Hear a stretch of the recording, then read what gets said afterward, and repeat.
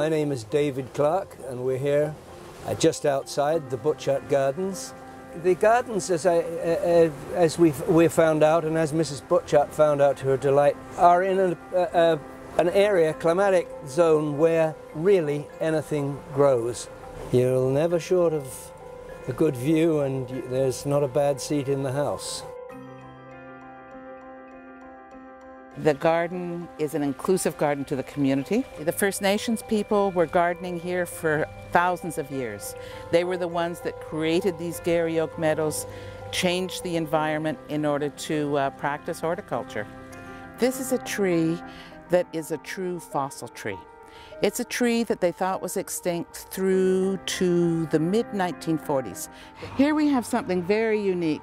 It's a form of euphorbia called Tasmanian tiger and would only grow in this part of Victoria. This is a wonderful garden all through the year. It's a garden designed for all seasons. We've uh, just came out uh, on our Saturday afternoon to take a stroll, stretch stretch our legs, get some fresh air. It was just a nice uh, area to come and enjoy the outdoors in Victoria. It's not somewhere that a lot of people come to, I don't think. They don't realize it's here, so it's just kind of its own little world, I think, in the middle of the city. Well, I love the flowers and the trees and the view is wonderful.